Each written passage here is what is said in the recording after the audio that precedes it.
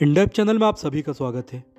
आज हम year grommet की जानकारी लेने वाले हैं, जिसका उपयोग ज़्यादातर बच्चों और कभी कभी बड़ों के मिडिल ईयर में बार बार होने वाले इन्फेक्शन के लिए किया जाता है। इस वीडियो में हम जानेंगे कि ग्रोमेट क्यों लगाया जाता है, ये कैसे लगाया जाता है, कौन सी सर्जरी की जाती है सर्जरी का खर्च कितना आता है सर्जरी के बाद हमें क्या सावधानियाँ रखनी चाहिए, और ग्रोमेट से हम क्या एक्सपेक्ट कर सकते हैं।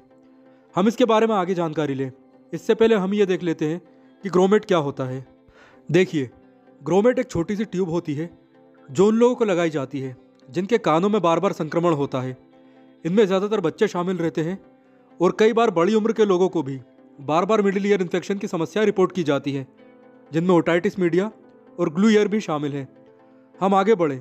इससे पहले हम ये समझ लेते हैं कि बच्चों और बड़ों दोनों में बार बार कान का संक्रमण क्यों होता है। तो पहले बात करते हैं बच्चों की।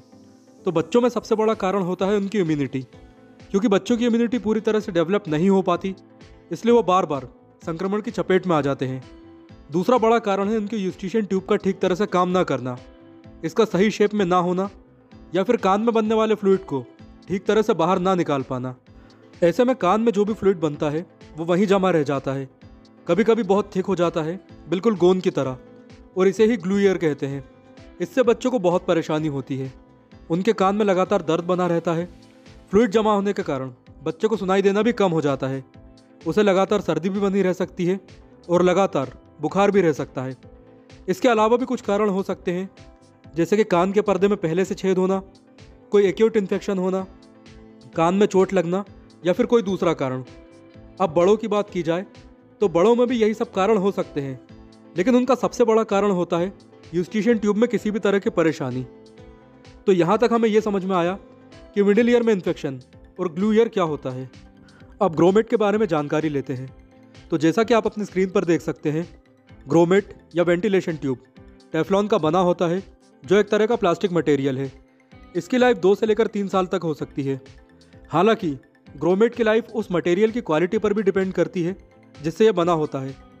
अब बच्चे या बड़े की कंडीशन यानी इन्फेक्शन की सीवियरिटी के अनुसार दो तरह के ग्रोमेट लगाए जाते हैं। पहला है शॉर्ट टर्म ट्यूब जो कि छोटे होते हैं और कान से, अपने आप बाहर आने से पहले, ये लगभग छः महीनों तक अपनी जगह पर जमे रहते हैं। इसके अलावा दूसरा है लॉन्ग टर्म जो कि साइज़ में बड़े होते हैं शॉर्ट टर्म से थोड़े बड़े, और इनमें दोनों जगह फ्लेंजेस होते हैं, जिससे ये लंबे समय तक अपनी जगह पर फिक्स रहते हैं, और ये आमतौर पर दो या तीन सालों तक अपनी जगह पर फिक्स रह सकते हैं। तो ये हुई ग्रोमेट के अपीरियंस की बात। अब ग्रोमेट को प्लेस करने के लिए की जाने वाली सर्जरी का नाम होता है मायरिंगोप्लास्टी और इसका खर्च एक प्राइवेट हॉस्पिटल में 25 से लेकर पचास हज़ार तक आ सकता है। हालाँकि यह हॉस्पिटल और डॉक्टर के अनुसार कम या ज़्यादा भी हो सकता है।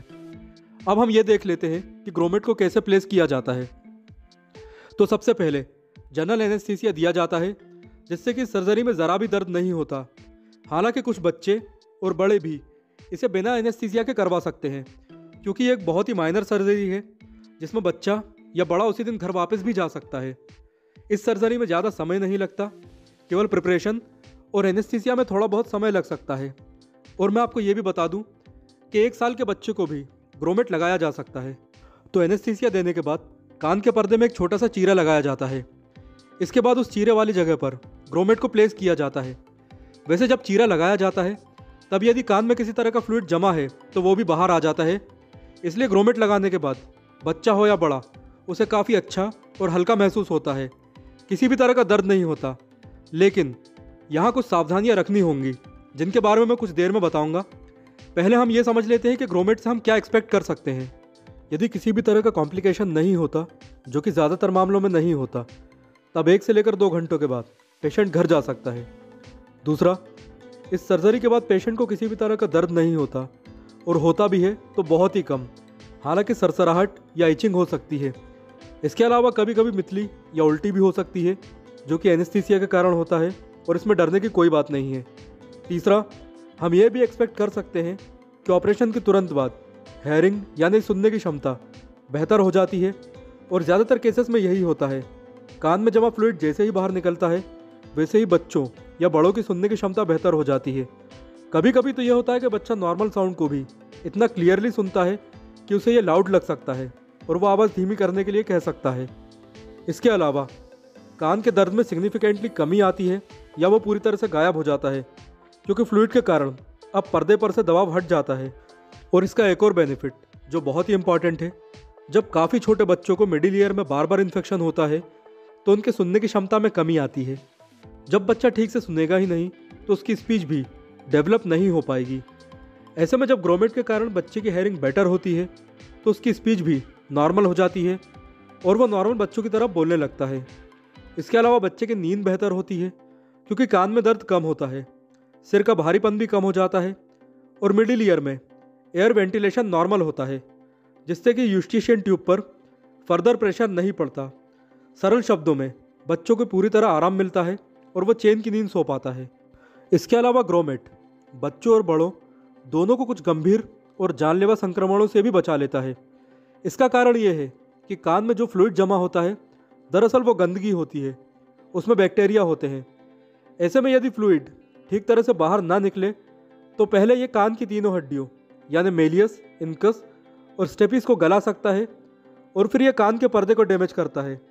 इसके बाद कभी कभी ये मेस्टॉइड बोन तक भी पहुँच जाता है। जहाँ से ब्रेन में पहुँच कर ये बहुत ही गंभीर बीमारियों का कारण बन सकता है। इस बारे में अधिक जानकारी के लिए आप इंडेप चैनल का बिजॉल्ट एप्सेस वाला वीडियो देख सकते हैं, जो आपको इस वीडियो की एंड स्क्रीन या चैनल पर मिल जाएगा। तो ग्रोमेट से बिजॉल्ट एप्सेस का खतरा भी कम हो जाता है। इसके अलावा एक इंपॉर्टेंट बेनिफिट जो बच्चों और बड़ों दोनों को मिलता है, वो है टिनिटस यानी कानों में घंटी बजने की समस्या से राहत। टिनिटस यदि मिडिल ईयर के इन्फेक्शन और प्रेशर से आ रहा है तो ग्रोमेट लगवाने के बाद इन्फेक्शन और प्रेशर दोनों में कमी आती है, जिससे टिनिटस का सेंसेशन भी कम हो जाता है। तो हम ग्रोमेट प्लेसमेंट से ये सभी बेनिफिट एक्सपेक्ट कर सकते हैं। अब बात आती है कि ग्रोमेट लगवाने के बाद हम बच्चों की केयर कैसे करें। तो क्योंकि एक सर्जरी है, इसलिए पोस्ट ऑपरेटिव केयर की सारी जानकारी आपको अस्पताल से ही मिल जाएगी। फिर भी मैं कुछ इंपॉर्टेंट बातें बताना चाहूँगा, जैसे ग्रोमेट लगवाने के कम से कम तीन दिनों तक आपको कान में पानी नहीं लगने देना है। नहाए तो कोशिश करें कि सिर पर पानी ना डालें। यदि बारिश का मौसम हो तो बाहर ना निकलें और कान में ईयर प्लग या कॉटन का पीस लगा कर रखें। इसके अलावा ऑपरेशन के बाद बच्चे के कान से थोड़ा ब्लड भी निकलता दिखाई दे सकता है, जो कि नॉर्मल है। इसे आप कॉटन से साफ़ कर सकते हैं। और क्योंकि अभी ऑपरेशन हुआ है और कान में छोटा सा चीरा लगा है, इसलिए संक्रमण का खतरा थोड़ा सा बढ़ जाता है। इसलिए आपका डॉक्टर आपको एंटीबायोटिक ईयर ड्रॉप भी दे सकता है। इसके अलावा बच्चे को कभी कभी हल्का बुखार भी आ सकता है। इसके लिए डॉक्टर पैरासीटामोल रिकमेंड कर सकता है। तो कुल मिलाकर, केयर बहुत ही इंपॉर्टेंट होती है। तो दोस्तों, इस तरह ग्रोमेट बच्चे को रिकरेंट ईयर इन्फेक्शन से राहत देता है। हालाँकि इसके कुछ साइड इफेक्ट्स भी होते हैं। जैसे ग्रोमेट कभी कभी अपने आप ही बाहर आ जाता है, जिसके कारण फिर से डॉक्टर के पास जाना होता है। इसके अलावा किसी किसी को इंटरेस्ट महसूस हो सकता है, और कभी कभी चक्कर भी आ सकते हैं। इसलिए बच्चे को ये लक्षण महसूस होते हैं तो अपने डॉक्टर को इसके बारे में बताएँ, ताकि ज़रूरी कदम उठाए जा सके। इसी के साथ वीडियो को समाप्त करते हैं। यदि ग्रोमेट के बारे में अभी भी आपका कोई सवाल है तो मुझे कमेंट बॉक्स में ज़रूर बताएँ। और यदि ग्रोमेट के बारे में ये जानकारी आपको हेल्पफुल लगी है तो इसे शेयर करें और चैनल को सब्सक्राइब करना ना भूलें। And thank for watching this video